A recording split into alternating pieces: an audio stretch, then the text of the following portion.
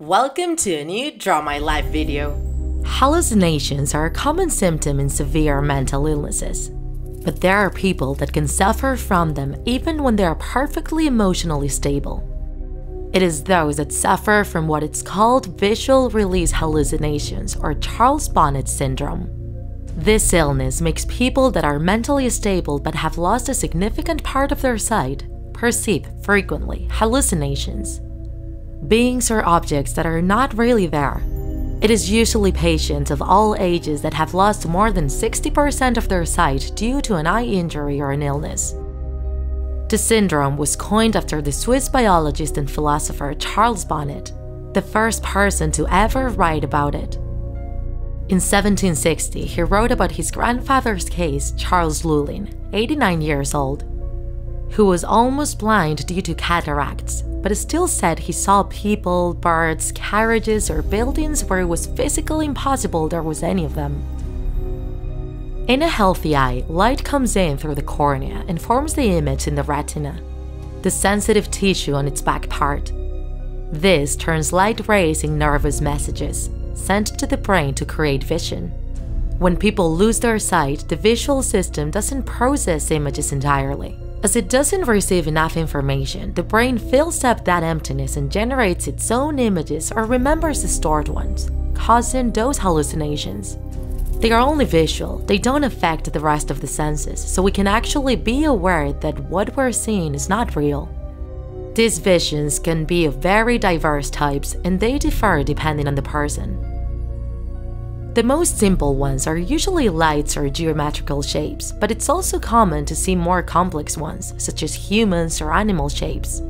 They can be people wearing clothes from other times or even imaginary creatures like dragons. Another frequent hallucination is seeing objects or people that are smaller than usual, as if they were tiny. One of the patients, for example, explained that he used to see in front of her or hiding in the distance a woman dressed in blue with a grotesque face sticking out her tongue. She followed her and appeared nearly every day, especially when she felt lonely or worried. In the beginning, this vision really impressed her, though after several years she had learned to live with it. However, she always felt a bit scared it could mean her mental health was deteriorating. A woman who lived alone said she had seen at her place up to 30 different kids bothering her and not letting her rest. She perceived them very clearly, and even though she was conscious they weren't real, these visions made her angry and confront her neighbors. Another person affected also felt anxiety when, according to her, she saw some scary men with hats or violent flames of fire. Sometimes, even a whole room can change into a strange place. Other people experiment sitting on a pallet floating in the middle of a wide river, or being alone in a cathedral in the light of the candles. Those suffering from multiple hallucinations tend to shut themselves away at home, as they find it hard to distinguish what's real and what's fiction. For some, these visions turn so upsetting and horrifying that they even think about killing themselves crocodiles crawling up the wall, ants running around our body. Some of these hallucinations move, while others are static. They can be black and white or in bright colors, and their duration can go all the way from some seconds till minutes or hours. Luckily, in most common cases, they disappear after they close their eyes or look in another direction. There isn't a specific evidence to diagnose the Charles Bonnet syndrome, the only thing they can do is discard the idea that hallucinations are provoked by a mental health problem, or that they are the effect of some drug or medicine.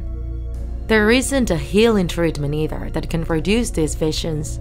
We don't even know exactly what percentage of the world population it affects. We know there are many undiagnosed cases, as many people affected are afraid to admit they suffer from these symptoms. They don't want to be treated as mentally ill. With time, the world population grows older and older. It is quite expected that the number of Charles Bonnet syndrome cases increase greatly. This weird illness with which you never know what you're gonna see when you open your eyes.